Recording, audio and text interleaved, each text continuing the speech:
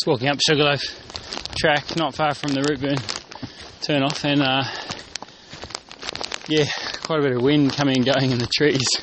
Makes me a bit worried about the prospect of flying. It's now 11 o'clock. It took pretty much exactly two hours to get up here, going pretty fast. Just a short break at Bushline. Just been watching a, a bird circling there to spot all this high cloud, so probably should get ready to launch. It's been pretty light in here. I don't know if it's just because it's sheltered or because it's uh, not as windy as it was below. Yeah, it was light on launch, but below at the inversion line, it's quite a bit of wind, like 20 30 k's over the pass. And in the air, there's definitely something going on with stuff coming over in front of me, and um, making it lee side. So I guess the wind was as well. Kinda makes sense, but yeah, like I had a collapse and I had to keep the wing flying out from the cliff before. Um, but so far, at the moment, it seems alright. Definitely uh, hands on brakes time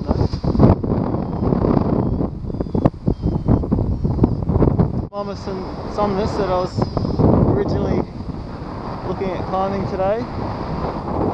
Turn the car around.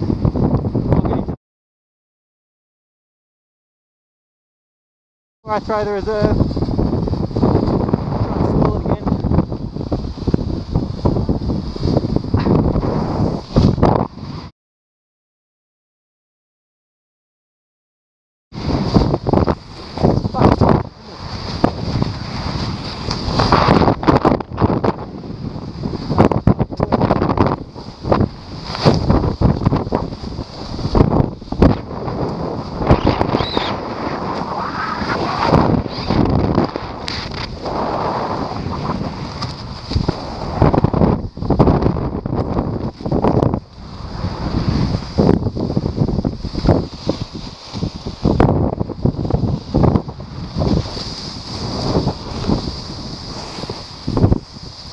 Paraglider Routeburn car park coming down under reserve parachute. Reserve parachute, Routeburn car park We'll be landing in the trees.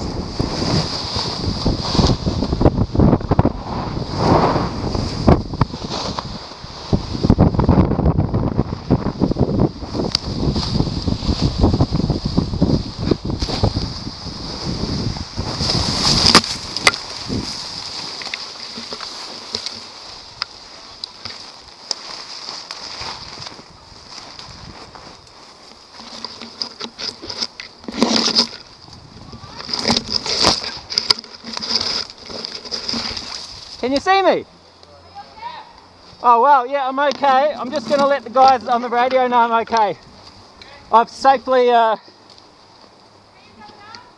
well, I don't know yet, but just Glenorchy air traffic. Uh, paraglider has landed in the trees. I've safely secured myself to the tree, and um, I'm to figure out how to get down off the tree from here. You okay down there?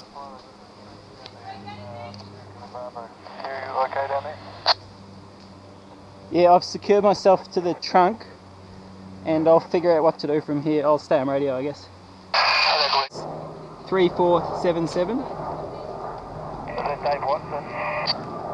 Yeah, that's the one. Okay, um, I'll him a call and let him know you, you might need a bit of help there, okay? Just, um, uh, maybe about 15 minutes I'll be on the phone, so we'll get a call something for you. I'll call Dave. Yeah, let him know I'm on channel 33 and he'll be able to talk to me on that from the Routeburn car park or wherever. Okay, mate, what was your name? Nick, Jake. Okay, mate, we'll probably, uh, we'll get a call out very shortly. great, thanks guys, heaps. You guys Dutch, are you? Yeah, we are. Oh, cool. Yeah, this doesn't normally happen. Coming down here, I just slid down this with my arms around it. wasn't too bad. This is a bit big for my arms. It's really thick, isn't it? My right foot lower. Yep. Yeah. Good. Great. Thanks a lot, guys. Oh wow, that was You're not done yet. excellent in the end. So the boys have arrived. Give me a hand. This is the tree. And it's actually pretty high. You can just see the glider right up there. So I've just made my first protection here. That's a bit dodgy actually. Um, yeah, this ideally would be a bit longer. Here we go.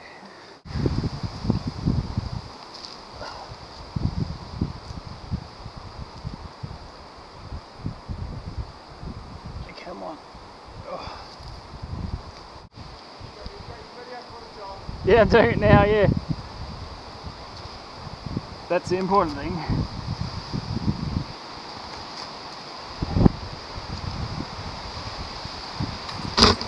Oh, oh like a koala.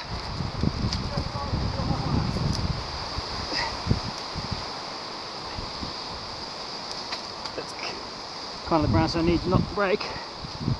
Right. Just clip myself in. Yeah, there's plenty of wind around. And it's actually moving around quite a bit up here. Oh. Yeah, nice tree this one.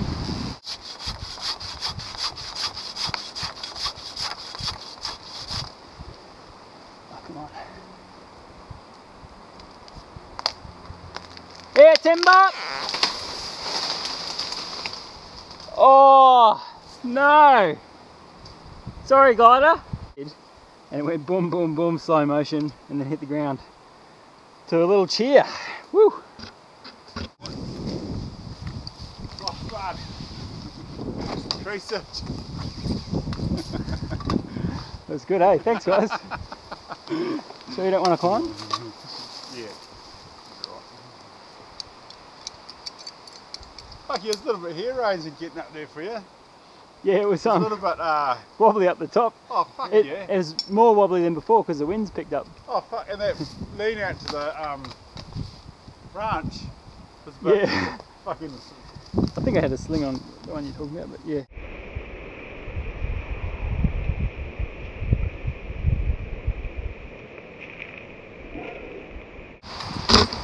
Oh, oh like a koala.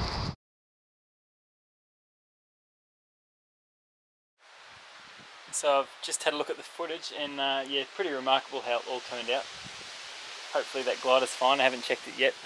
And yeah, pretty windy day down here. But, but as I was saying, uh, I've never had it happen before, that it's happened so quickly without me being able to react and into such a, you know, like the line over was like, I don't know if I could have fixed that. So pretty unusual thing to happen.